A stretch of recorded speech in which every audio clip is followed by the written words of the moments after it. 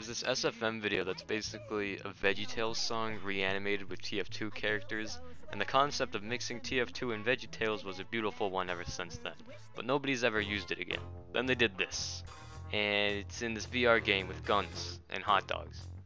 I'm gonna be honest, I thought this update was gonna be a bust. I don't even trust Valve with TF2 anymore, definitely not some tiny dev studio. The amount of perfection I see in this title cannot be matched by some VR games, so I expected shit. But what I wasn't expecting was a real fan and admirer of TF2 to be the one behind this, and I know he is one because it's obvious when you're playing.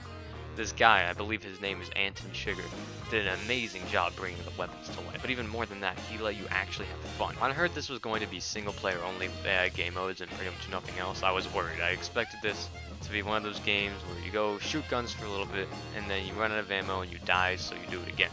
And if that's what you like, then you can do that, but this game lets you do whatever the fuck you want. My first time playing, I went in with some basic weapons, and it was cool, but it was much more fun when I started to get crafty with loadout. Soon enough, I was doing the rocket jumping spy thing like Musa. Got him! Soon I discovered that they forgot to limit the amount of sticky bombs you can have placed at once, which lets you go to fucking space. They didn't limit you at all, and that's why this is best offline. It's not balanced to be competitive like TF2, but this gameplay still perfectly captures what I believe to be the spirit of TF2 in a way that we don't ever get to see too often, and that's just in the gameplay. When I compare this to VeggieTales, I mean it. The hot dog classes, they have these voice lines that are voiced kind of like the fucking broccoli guys. They're all kind of high-pitched. Why don't you wrap yourself in tinfoil and jump into the microwave? and they all make little subtle references in each line that only true fans will understand. Republished.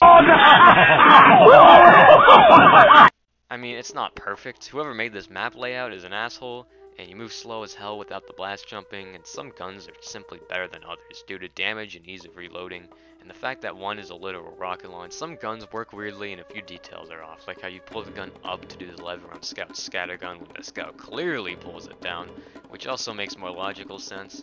The sniper rifle only chambers one bullet at a time. I don't know what the hell is going on with Spy's knife. The syringe gun has an inexplicable muzzle flash, the pyro didn't get an air blast, and the previously mentioned lack of sticky bomb limitations. But I'm sure they're all like that for good logical reasons, and they don't really make a difference, so whatever. The game is fun as hell, the possibilities are limited, technically, but there's a lot of them. And I don't want to talk anymore, I just want to go play it.